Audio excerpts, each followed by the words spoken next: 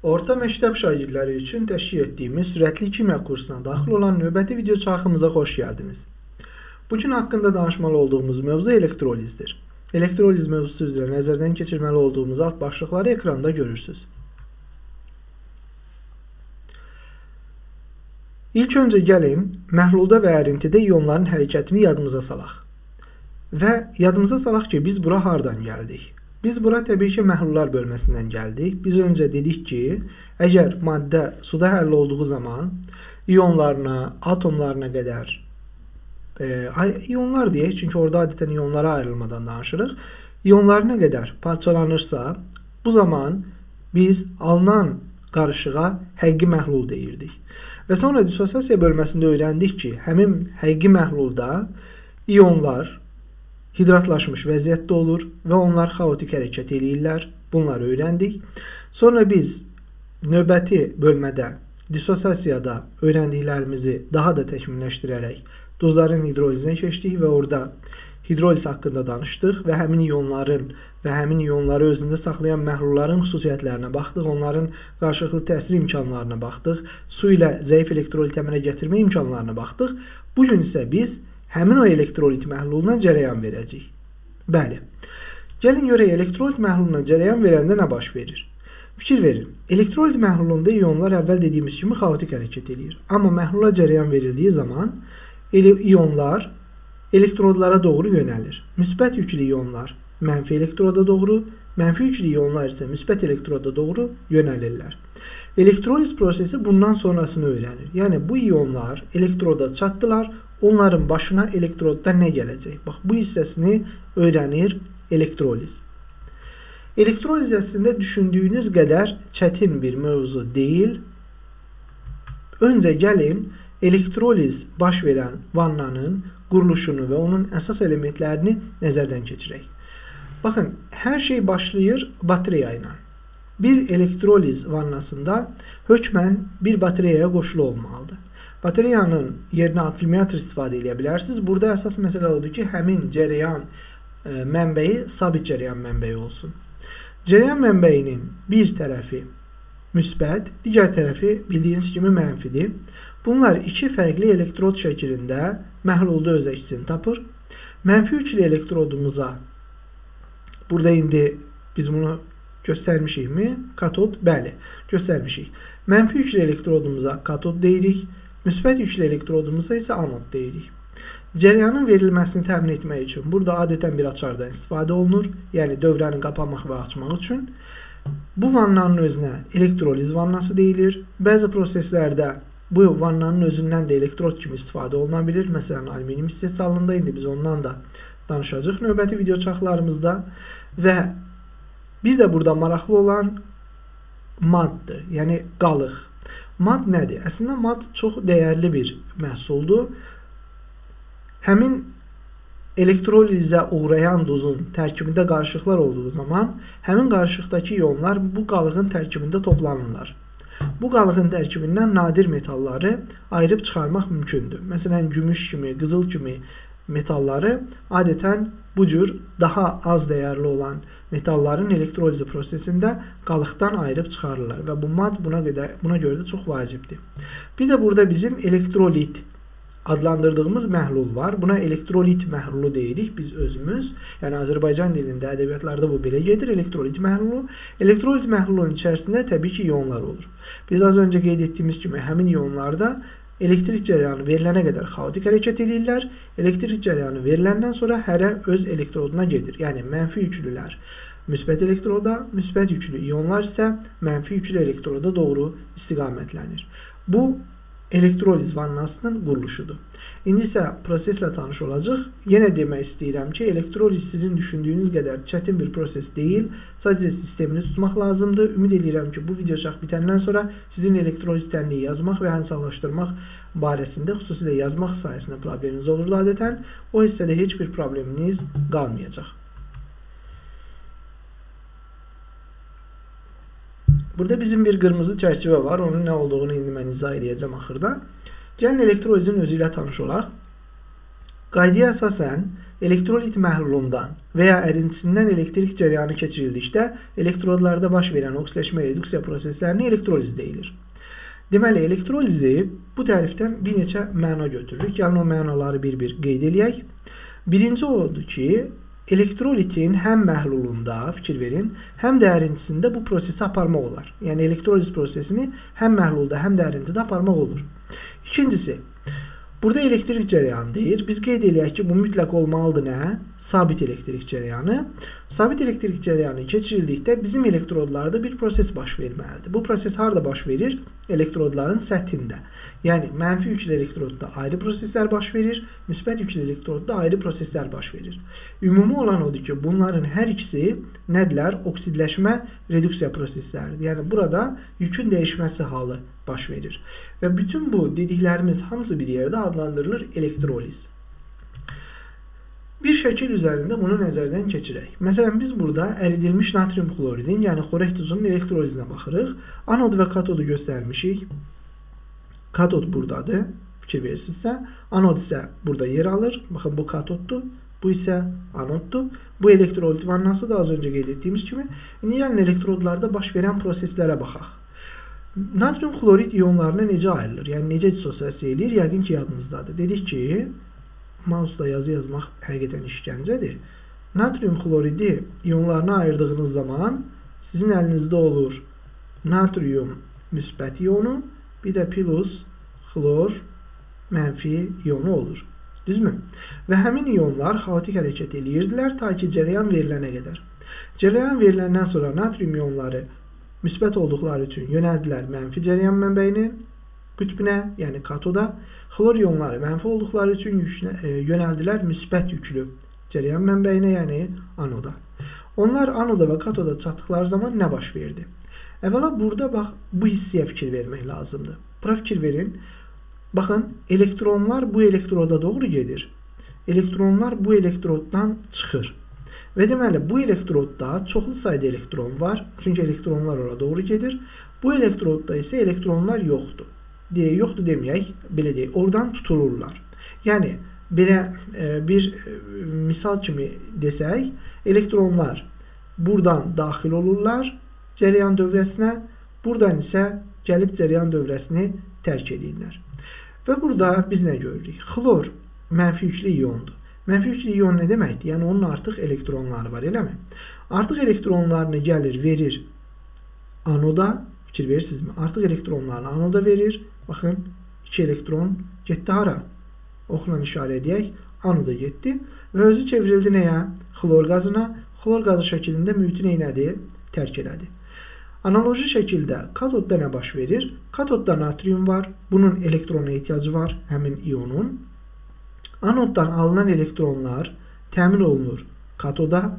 Katodda natrium 2 elektronu özünə götürür. Fikir verin. Bax bu 2 elektron hardan gəlir?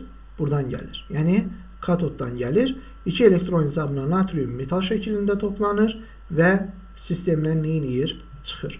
Və nəticədə sistemdən nə çıxır? Xlor qazı çıxır. Bir də nə çıxır? Metal halında natrium çıxır. Məsələ burasındadır ki, Hər şey göründüyü qədər sadə deyil. Buna qədər hər şey aydındır. Amma bu göründüyü qədər sadə deyil. Niyə? Çünki bizim orada bir qırmızı çərçivəmiz var. Orada yazır ki, molten, yəni ərinmiş natrium xlorid. Elektroliz prosesi mürəkkəbləşdirən amillər çoxdur. Çoxdur deyil, əslində sayılı saydadılar. Birincisi odur ki, elektroliz məhlulda mı gedir yoxsa ərintidəmi? Çünki ərintidə və məhlulda gedən proseslər bir-birindən fərqlənir. İkincisi, elektrolizə uğratdığınız duzun tərkibində oksigen varmı, yoxmu? Bu da prosesə təsir edir. Və həmçinin siz bilməlisiniz ki, elektrolizə uğratdığınız duzun tərkibindəki metal aktivdirmi, orta aktivdirmi, yoxsa passivdirmi? Bunların hamısını bilib, xüsusiyyətlərini aydınlaşdıra biləndən sonra istənilən bir elektroliz tənliyini yazmaq çətin bir şey deyil. İndi gəlin həmin proseslərlə bir-bir tanış olaq. Biz indi burada ərintinin elektrolizinə baxırıq. Yenə də Ərintimiz səhv eləmirəmsə natrium xloriddir, bəli. Ərimiş natrium xlorid ərintisi var. Burada katod, anod bunları görürsüz. Xlor qazı artıq anod ətrafından ayrılıb. Bu qaz qabarcıqlarına da yəqin ki fikir verirsiniz burada. Görünürlər və e, natrium metali isə toplanacaq katodun üzərində. İndi Baxaq görək burada nə baş verir. Burada baş verən proses budur. Katodun üzərində natrium elektron qəbul edir. Biz bunu bayaq nəzərdən keçirdik. Natrium sıfıra çevrilir.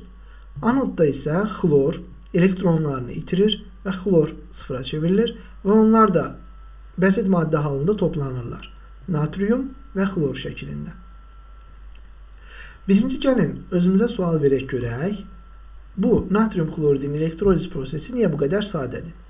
Sadə olmağının səbəbi odur ki, birincisi ərintidir, ikincisi oksigensiz turşunun duzudur.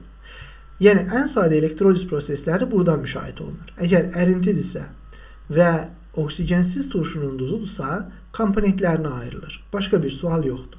Misal üçün gəlin burada biz özümüz üçün bir başqasını yazaq. Yazaq ki, qələmi götürək buradan. Məsələn, yazaq ki, burada kalium, flor. Fikir verirsinizmi? Əsas iki şərti ödəyirəm. Birinci şərt nədir? Oksigensiz turşu, HF oksigensiz turşudur. İkinci şərtim nə idi? Metal. Metal nə idi? Kalium o, qədər vacib bir şərt deyil. Əsas odur ki, nədir burada? Ərintinin elektrolizidir. Burada bir E, L, Z yazırıq. Yəni ərinti elektrolizi uğrayır. Elektrolizdə metal ayrı şəkildə, sərbəst şəkildə çıxır. Kalium plus qeyri-metalda bəsit maddə halında çıxır. O da olur flor 2. Əmsallaşdırırıq 2-ni bura veririk, 2-ni bura. İstənilən bir başqa duz, əgər turşu qalığı oksigensizdirsə, və ərintin elektrolizi baş verirsə, sadəcə komponentlərini ayırın, qutarsın, getsin. Vəssalam. Məsələn, burada bir dənəsini gəlin götürək yenə. Kalsium, misal üçün, xlor 2. Yenə ərinti elektrolizinə baxırıq. Bax, bunu unutmayın. Yuxarıda lap böyük hərflərlə qeyd eləmişik. Kalsium xlorid elektrolizi. Baxırıq burada. E, metalımızı çıxarırıq. Kalsiumu plus qeyri-metalımızı bəsit maddə halında çıxardırıq. Nə halında? Xlor halında və əmsallaşdırandan sonra əmsallaşdırmağa ehtiyac yoxdur. Proses bitir. Burada nə yazırıq? ELZ, yəni elektroliz. Sual verə bilərsiniz ki, bəs yaxşı, turşu qalığı oksigensiz olmasa, yəni oksigenli olsa, onda nə olacaq? Məsələn, uzağa getməyək, kalsium, tutaq ki, karbonat olsa, oksigen olsa tərkibində, onda nə olacaq? Orada vəziyyət mürəkkəbləşir. Niyə? Çünki seçimlər çoxdur. Əgər həmin duz qızdırılan zaman parçalanırsa, məsəl üçün bizim duzumuz kalsium karbonat qızdırılan zaman parçalanır, kalsium oksid karbon qazına, siz onu elektroliz edə bilməyəcəksiniz. Bu aydındır.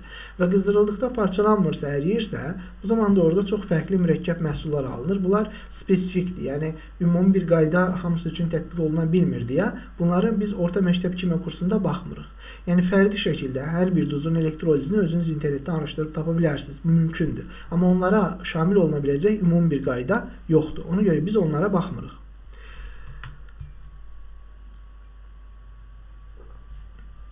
İndi burada sizinlə birlikdə kationların reduksiya arıcılığını bilməliyik. Kationların reduksiya arıcılığı dedikdə nə başa düşürük? Birinci kation nədir? Kation müsbət yüklü bir iondur. Məsələn, metal kationları, natrium müsbət, kalium müsbət, kalsium 2 müsbət və s. Onların bir sırası var. Buna deyirlər kationların katodda aktivliyi. Burada bizim pasif metal hesab etdiyimiz metallar ki var, ki biz onlara pasif metal üçün baxırıq, burada ifrat aktivlik göstərirlər. Məsələn, qızıldır, civədir, gümüşdür. Bu nə deməkdir? Yəni onlar deyirlər ki, əgər mühitdə biz varıqsa, biz birinci reduksiya olunub çıxmalıyıq mühitdən. Əgər biz mühitdə çıxmamışıqsa, bizdən daha aktiv olan bir metal elektroda yaxınlaşa bilməz. Yəni çox sadədir burada qayda. Məsəl üçün təsəvvür edək ki, bizim məhlulumuzda natriumla kalium var. Misal üçün, burada sıraya gəlirsiniz, baxırsınız, natriumun mövqeyi buradadır. Fikir verirsiniz, kaliumun mövqeyi buradadır. Burada hansı aktivdir? Təbii ki, metal olaraq bəsit halda kalium aktiv idi, söz yox. Amma burada biz ionların aktivliyinə baxdığımız üçün natrium daha aktivdir. Və ona görə də birinci olaraq natrium gedir elektroda, yəni elektron almağa. Ondan sonra natrium praktik olaraq mühitdə bitəndən sonra kaliumlar elektroda yaxınlaşırlar. Bunun əslində arxasında çox yaxşı bir məntiqi izah dayanır. Biz bu metalları nəyə görə bu sıraya düzmüşdük? Elektronu asan verdiklərinə görə, eləmi? Əgər kalium elektronu asan verirsə, o elektronu çətinliklə geri qəbul eləyər. Əgər natrium kaliuma nisbətən elektronu çətin vermişdisə bizə və deməli o həmin elektronunu geri almaq üçün daha böyük səy göstərər. Yəni bu şəkildə başa düşmək lazımdır. Sıranın bu tərəfində, yəni sonluğunda yerləşən qızıla doğru getdikcə metalların elektrona olan münasibətləri daha da kəskinləşir. Yəni siz qızılın 3 elektronunu özünə qaytarmamış, qızıldan əvvəlki civəni və ya gümüşü mühitdə reduksiya edə bilməzsiniz. Qızıl sizə icazə verməz. Yəni, birinci qızıl e, reduksiya olunub mühitdən çıxmalıdır ki, siz ondan sonra ondan daha e, belə deyək də, burada artıq passiv deyək, ondan daha passiv metalları mühitdən çıxarasınız. Bunu yadınızda saxlayırsınız. Analoji olaraq bu anyonlara da aiddir. Anyonlar nə idi? Yəni duzun qalan hissəsi. E, bu metallara birləşən hissə. Burada da bir aktivlik var və bu aktivlik də həminki kimidir. Fikir verirsinizsə burada deyir ki, kükürt deyir ki, əgər deyir mən mühitdən çıxmamışamsa, fikir verirsinizmi? Kükürt deyir ki, mən deyir mühitdən çıxmamışamsa, yoda, broma, xlora, OH-a mühitdən çıxmaq olmaz. Yəni ki, birinci mühitdən mən çıxmalıyam. Yəni sizin öyrəndiyiniz pasiv artıq elektroliz prosesində aktivdir. Fikrimi çatır yəqin ki. İndi gəlin belə bir sıra var. Burada müəyyənləşdirək görək hansı turşu qalıqları ümumiyyətlə hansı ardıcıllıqla elektroda gedəcəklər. Anyonlar hara gedəcəklər? Anoda. Gəlin indi sıra ilə buranı müqayisə edək. Baxırıq görürük ki, burada kükürt birinci gedir, çünki ən passivdir. Bayaq dediyimiz kimi o çıxmasa digərlərinə icazə vermir. Ondan sonra mühitdən çıxıb gedən olur xlor. Çünki sıraya baxırıq, bu kükürtlə xlor arasında qalanların heç biri bizdə yoxdur. Xlor, bu da ikinci mühitdən çıxan olur. Üçüncüsü nitrat olur. Çünki nitrat buradadır, fikir verdinizsə. Nitrat da mühitdən çıxandan sonra ən sonda mühitdən çıxan kim olur? Flor olur. Yəni əgər praktik olaraq bundan öncəki iyonların hər hansı biri çox cüzi bir miqdarda da olsun məhlulda varsa, akt e, belə deyək də flor kimi biz ona indi aktiv deyirik. Burada artıq aktiv sayılmır. Flor kimi bir iyon mühitdən çıxa bilməz. Yəni anoda gedə bilməz. Bunu da bu şəkildə yadımızda saxlayırıq. İndi isə gəlin suda məhlulların elektrolizinə baxaq. Burada bizim bir reaksiyamız əlavə düşüb, bilmirəm nədir, baxarıq ona indi. İlk öncə gəlin, burada bir elektroliz vannası var. İçərisində məhlulda bir ərinti deyil bu, qeyd edilək. Bu bir məhluldur. Məhlulda bir proses gedir, aşağıda tənlik verilib. Natrium xlorid su ilə birlikdə natrium OH, hidrogen, bir də xlor qazlarını ayırır. Baxın, biz bunun ərinti variantını yadımıza salırıq. Orada nə baş vermişdi? Natrium və xlor ayrılırdı. Yəni məsələ mürəkkəbləşməmişdi. Burada isə məsələ yetərincə mürəkkəbləşib. Gəlin görək bu mürəkkəbliyin səbəbi nədir? Birinci, tənliyin özünə baxdığımız zaman, baxın bura fikir verin. Baxıram görürəm ki, xlor öncəki qaydaya tabe olub. Yəni xlor məhlulda da ərintidə olduğu kimi bəsit maddə halına çevrilib və sistemi tərk edib. Deməli, bu əlavə məhsulların əmələ gəlməsinə səbəb kim olub? Natrium olub. Bu hidrogenin çıxmasına da səbəb natrium olub. Məhlulda natrium hidroksidin əmələ gəlməsinə səbəb də natrium olub. Deməli, biz burada az öncəkindən fərqli olaraq metallara da fikir verməliyik. Yəni, həm turşu qalıqlarına baxmalıyıq, həm də metallara baxmalıyıq.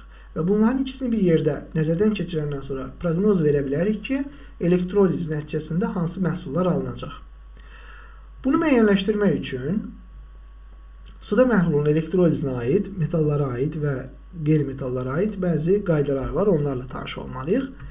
Baxın, burada biz metalların fəallıq sırasını görürük. Litiumdan başlayır, qızılda qutarır. Burada gördüyünüz kimi. Burada 3 hissəyə bölünüb bu sıra. Litiumdan başlayıb alüminiuma qədər olan hissə sıranın birinci hissəsidir. Görün nə yazır. Suda bu katyonlar yox, su molekulu reduksiya olunur və sudan hidrogen ayrılır. Yəni litiumdan alüminiuma qədər hər hansı bir metalın duzu elektrolizə uğrayırsa, siz elektrodda metal gözləməyin. Siz elektrodda hidrogen gözləyin. Çünki elektronun bu metala birləşməsi suya birləşməsindən daha az səmərəlidir, elə energetik baxımından. Ona görə də həmin elektron su molekuluna birləşəcək və su molekulunun parçalanması nəticəsində siz əldə edəcəksiniz hidrogen. Və suyun qalan OH qrupu hara gedəcək? Suyun qalan OH qrupu da metalla birləşib Qələvidirmi, nədirmi, nəsə onu əmələ gətirəcək. Məsələn, biz az öncəki reaksiyada niyə natrium hidroksid almışdıq? Çünki natrium metalı fikir verin burada idi və o özü getmədi elektroda, suyu göndərdi. Su elektrodda parçalandı və sudan hidrogen ayrıldı. O getdi elektroda və suyun OH qrupunu da natrium öz yanına çəkdi və natrium hidroksid şəklində qaldı məhlulda. İndi sıranın ikinci hissəsinə fikir verin. Sıranın ikinci hissəsində manqandan başlayaraq quruluşuna qədər olan metallarda bu iki prosesin hər ikisi baş verir. Yəni həm metal sərbəst halda elektrodda toplana bilir, həm də hidrogen toplana bilir. Ona görə də bu cür metalların elektroliz tənliyini yazanda siz həm metalı çıxarırsınız, həm də metala paralel olaraq nəyi çıxarırsınız? Hidrogeni çıxarırsınız. İndi misallar olanda siz onu görəcəksiniz.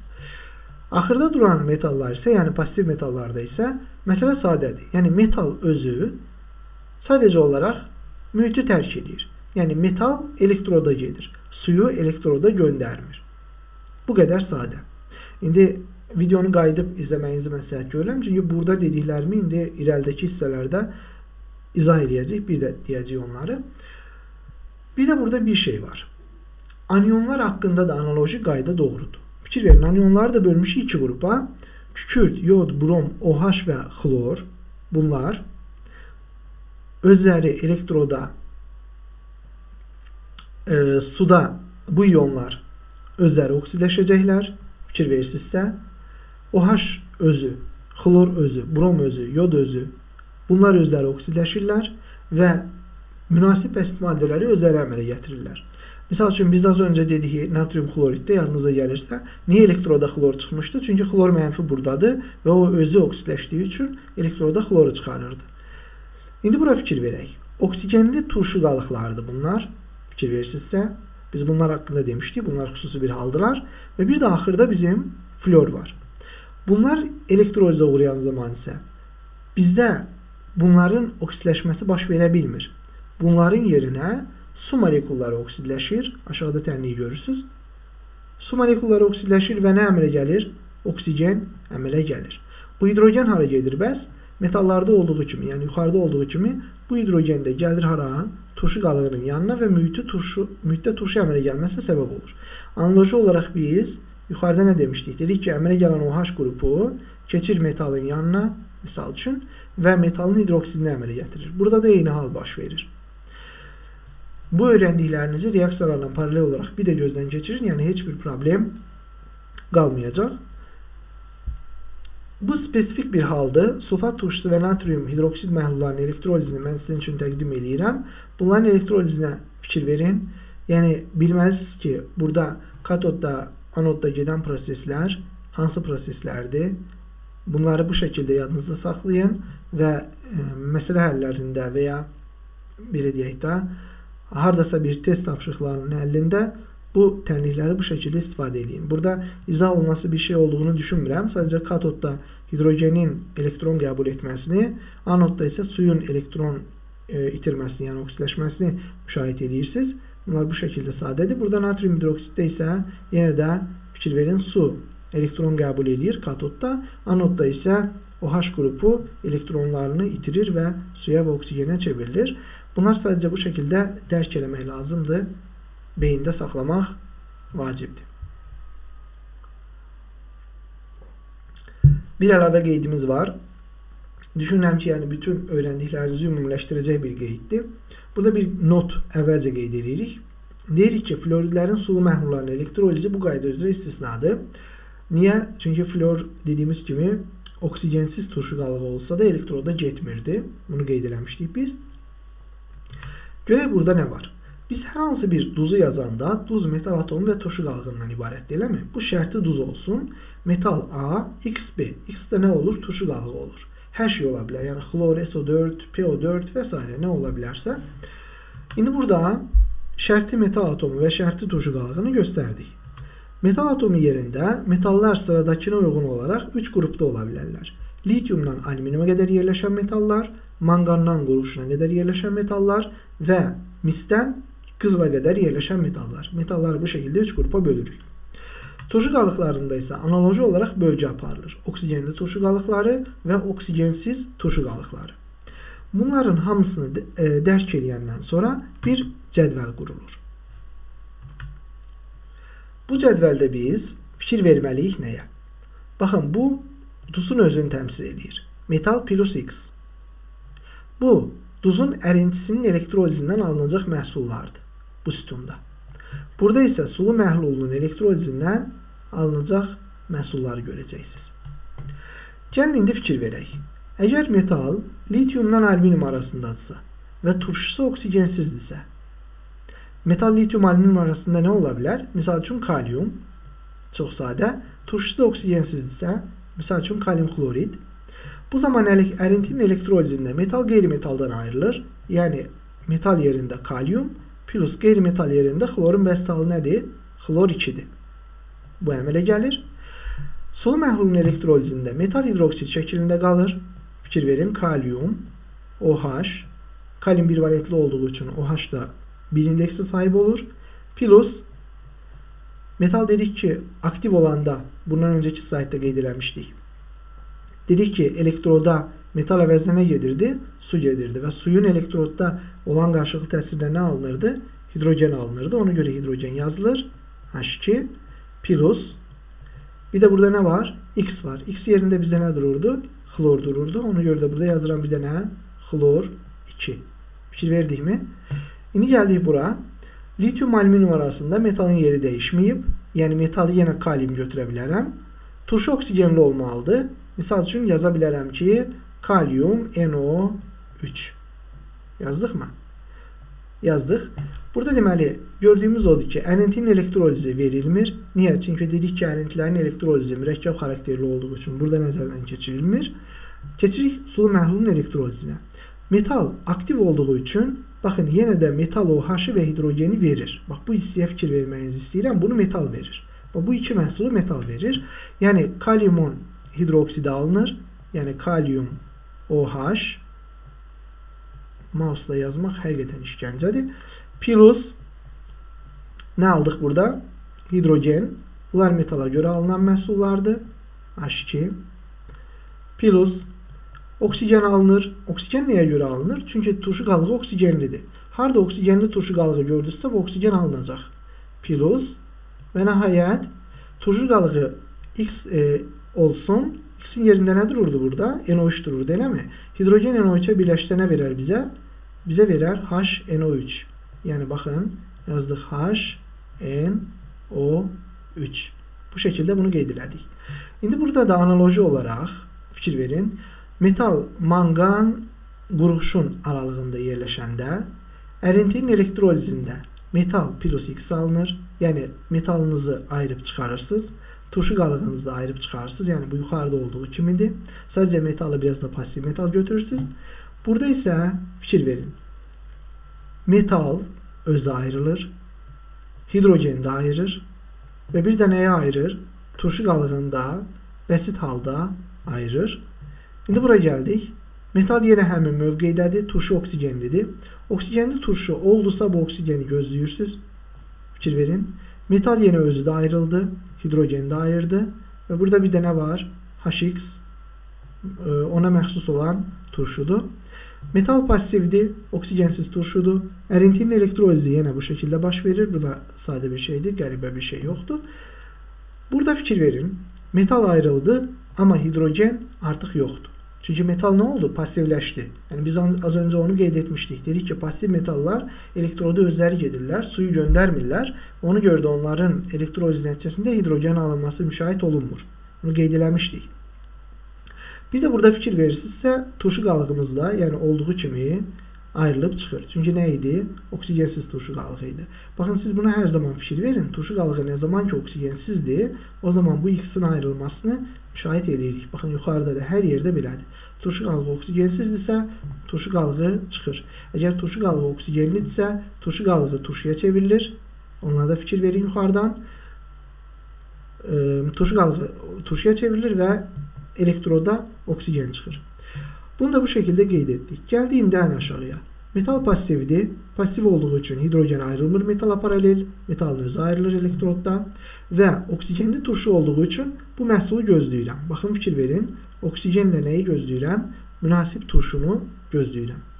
Bunların hamısını bu şəkildə nəzərdən keçirəndən sonra, bu cədvəli bir də özünüz təhlil edəndən sonra konkret tapşırıq nümunələrinə yönələ bilərik.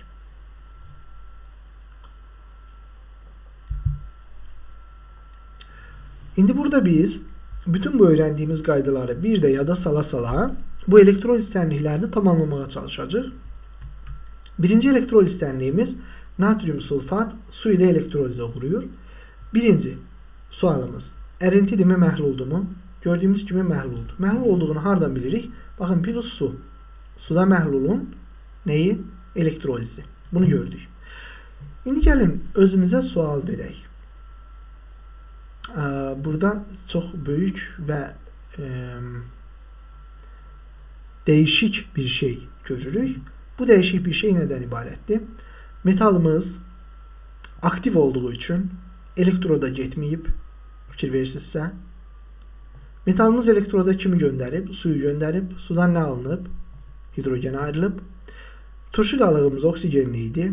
Yenə də o elektroda getmədi. Elektroda suyu göndərdi və oradan da oksigen ayrıldı. Natrium sulfat necə reaksiyaya girmişdisə, eləcə də məhsul şəklində qaldı. Dolayısıyla burada suyun hidrogenə və oksigenə parçalanması baş verdi. Yəni natrium sulfatın suda məhlulunda biz elektroliz müşahidə eləyə bilmədik. Əslində proses olaraq elektroliz müşahidə etdik, amma bu öyrəndiyimiz qaydalara uyğun olaraq bir elektroliz müşahidə eləyə bilmədik. İndi gəlin nikel sulfatın elektroliz elektrolizini nəzərdən keçirək. Birinci, sual verək görək nikel hardaydı? Nikel aktiv metal idimi? Xeyr. Bəs pasiv metal idimi? Xeyr. Ortada yerləşirdi. Nikel üçün alınan məhsullar metalın özü çıxmalı idi. Fikir versinizsə, bir də nə çıxmalı idi?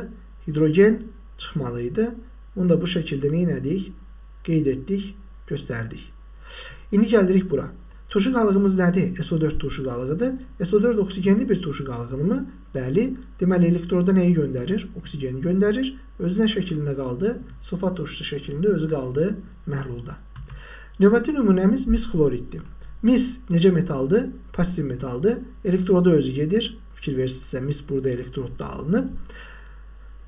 Və turşu qalığında xlor oksigensiz turşu qalığını təmsil eləyir. Oksigensiz turşu qalıqlarda elektroda özləri gedirdi. Ona görə də bunun sadəcə olaraq duzun özünün e, tərkib hissələrinə parçalanması baş verdi. Su reaksiyaya necə girmişdisə, eləcə də reaksiyadan çıxdı. Yəni su prosesə sərf olunmadı. Bir növ. İndi burada növbəti başqa bir duz var. Bu duzda metalımız pasiv bir metaldır, misdir. Pasiv metal elektroda getdi, elektronları qəbul etdi və metal şəklində əmələ gəldi. Baxın, metalımız aktiv olsaydı, elektroda su gedirdi, hidrogen alınırdı. Metalımız orta aktiv olsaydı, həm hidrogen alınırdı, yuxarıda fikir verirsiniz, həm də metalın özü alınırdı. Metalımız pasiv olduğu üçün bu zaman yalnız metalın özü alınır. Yəni nə hidrogen, nə də ki e, başqa bir əlavə məhsul müşahidə olunmur. Turşu qalığına gəldiyimiz zaman turşu qalığı oksigenlidir. Oksigenli turşu qalıqları həmişə oksigen verəcəklər. Bu şübhə götürmür. Və bir də burada nə var? Sulfat turşusu var. Sulfat turşusu da nəyə görə? Ona görə ki, turşu qalığı mühitdə qalır və ona görə də buradan alınır sulfat turşusu. Növbəti bura fikir verək. Gümüş nitrat götürmüşük. Gümüş yəni də necə metaldır? Pasiv metaldır. Pasiv isə elektroda özü gedir. Bunu az öncə biz qeyd etmişdik. Burada turşu qalığı oksigenlidir. Oksigenli turşu qalığına görə həmişə oksigen ayrılacaq. Burada da şübhə yoxdur. Bir də ki, turşu qalığı oksigenli olduğu üçün özü getmir və orada nə nəyi e, təşkil edir? Hidrogeni özünə götürür və mühitdə turşu şəklində özü qalır.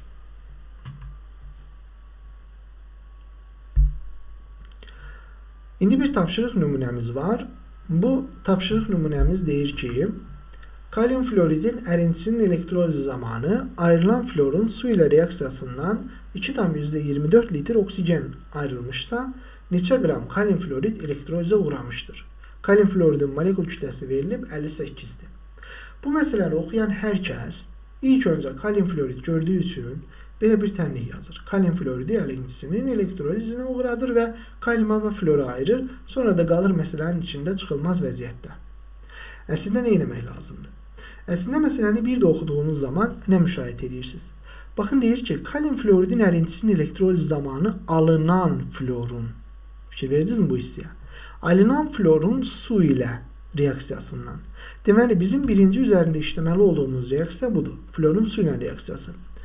Su ilə reaksiyasından 2,24 litr oksigen ayrılmışsa, verilənləri yerinə yazıram. 2,24 litr yazdım oksigenin üzərinə. Oksigenin altına 1 mola görə 22,4 qeyd elədim. Florun aşağısında 2 mol, çünki niyə? Əmsalı 2-dir, 2 mol flor eləyir və yuxarıda da x mol. Floru moldan tapıram. Floru molla niyə tapıram? Çünki tapacağım x-in qiymətini gətirəcəm birinci reaksiyada flora sərf eləyəcəm.